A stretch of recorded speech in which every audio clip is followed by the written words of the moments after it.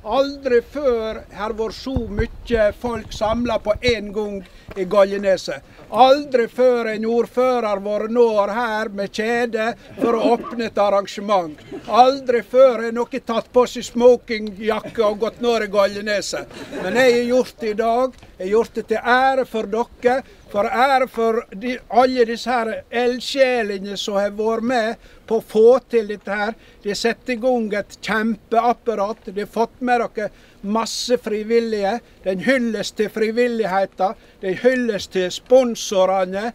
Og det er bare å ta, ta seg hatt i for det hele, så håper jeg virkelig at eh, dette her blir en tradisjon. At dette her bare vokser opp og opp. Han Kjellvik er positiv alle tider. Dette er bare begynnelse, sa han Bjarne. Du skal se når disse karene får holde på en stund, så blir dette her eh, kjempe, kjempestort.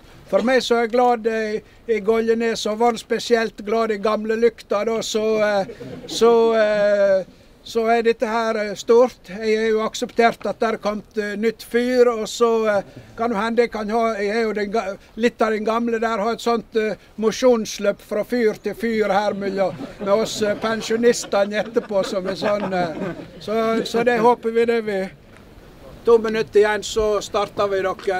Vi må få ha en god, god dag og, og være forsiktige og ta vare på hverandre reiser til andre steder for å se, så blir det sjelden til noe mer enn det. For det er postavåg som ligger i en krans av hav. Det er den heimen som vi holder av. Hvordan er formen før eh, start? Vet at Rett før start så er det alltid dårlig, men sånn totalt sett så er ikke ikke så hakkegale. Hva syns du om påfunnet Fyr til fyr? Kjempepåfunn. Veldig, veldig, veldig bra. Jeg tenker at målet er bare å fullføre alle toppene, og så ikke komme sist.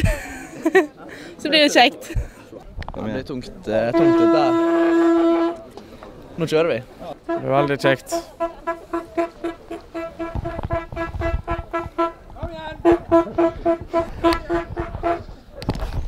Ja, Steffen, eh, skal du ha en kommentar? Nei. Ja. Dette her går bra? Ja, dette går strålende, det. Flott. Har du, du en kommentar, Martin? Hæ? Jeg kjenner det. Det går bra foreløpig. Ja, ja da.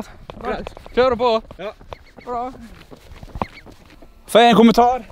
Det var kjempeflott løp. Det var litt bratt bakke i forhold til Sørlandet, men her er April.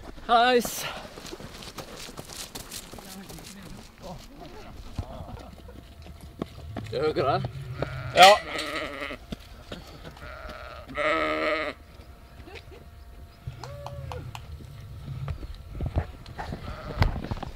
Få en kjapp kommentar, Thomas. Ja, det skal du. Beskriv dagens eh, påfunn. Nei, dette her er jo bare helt fantastisk. Været, folka. Altså Stemninga i løypa. Føre, ikke minst. Det er perfekt underlag å springe på.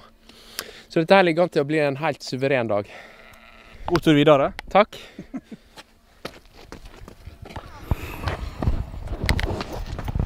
ja, alt vel? Ja. Alt vel? Ja, ja. Heter du med? Ja. Det viktigste.